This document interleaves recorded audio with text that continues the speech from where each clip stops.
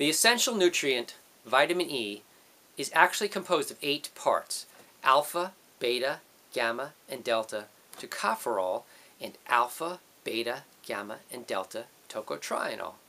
So why are so many people taking a nutritional supplement composed only of D-alpha tocopherol? Or much worse, some people are taking the synthetic form of vitamin E, which is called DL-alpha tocopherol. Remember, the L in DL stands for lousy. That's how you can tell it's synthetic vitamin E. Clinical studies show that the synthetic DL form does not reduce oxidative stress and actually does not benefit the human body. Numerous new medical studies now show that the most beneficial part of vitamin E are tocotrienols. Medical research shows that tocotrienols prevent brain cell damage, reduce bad cholesterol, and prevent cancer.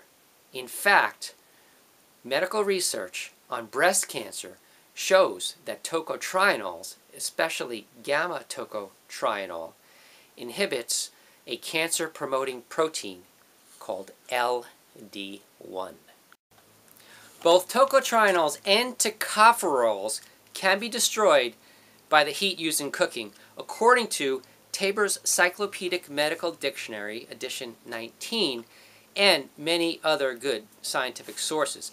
Therefore, we need to be looking towards uncooked food for our source of tocotrienols and tocopherols, or quality foods supplements. The best commercially available food source of tocotrienols and tocopherols is rice bran. Rice bran has a ratio of 50-50 tocotrienol to tocopherol, making it also the most balanced source. Sunwarrior's classic protein starts out with organically grown whole grain brown rice. They process it at low temperature to keep the nutrients intact and the finished product contains not just the protein but the tocotrienols from the rice bran. I have been personally consuming tocotrienol-rich rice bran for many years. I have also been getting my blood work done from SpectraCell Laboratories using their micronutrient test.